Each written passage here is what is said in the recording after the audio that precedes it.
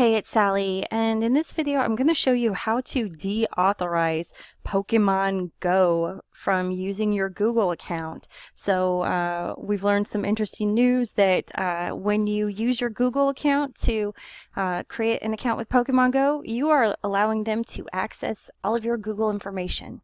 So if that freaks you out, here's how to undo it.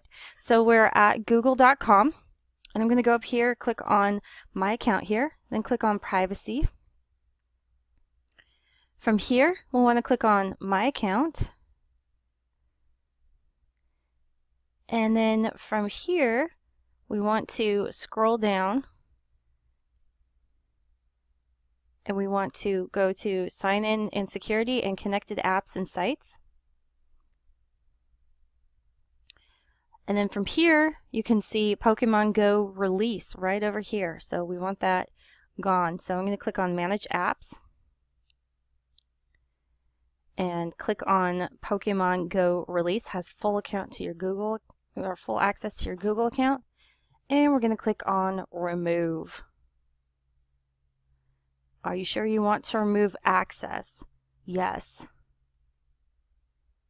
Okay, there you go. So that's how you do it. They can no longer access your account. So you are good to go.